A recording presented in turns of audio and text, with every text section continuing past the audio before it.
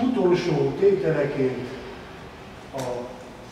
hogyan olvassunk várost témának, vagyis hogy hogy értelmezhető építészeti nyelv szempontjából a, a közönséges városi környezet. El kellett vinni a történetét egészen az első világháború utánig, amikor bizonyítható volt az, hogy az építő szervezet egy döntő fordulatig jutott. Ennek következtében a tér olvasat kérdése és a tértörténetek olvasatának kérdése is egészen új szituációt kapott. A világháborúval már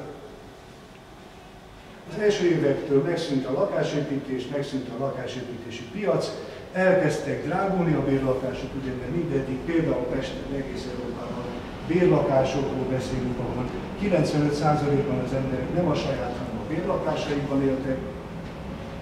és a háború 16, második évben 16 körül tömegessé vált a felmondás, Párizstól Berlin át Budapestig, kiköltöztették a lakásokat, politikai problémává vált, sőt, logisztikai problémává vált maga a lakáskérdés, ami addig civil szféra volt. A civil város építette föl full maszekból a egymilliós Budapestet, és ez mostanra egészében ennek a problémája, a bérlakáspiac problémája az államra hárul.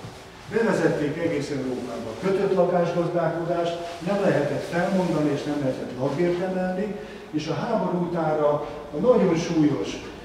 demográfiai és migrációs problémák által még tetézve egészében az állam nyakába szakadt és az önkormányzatok nyakába a lakásépítés. Ezen keresztül értetően maga a városépítés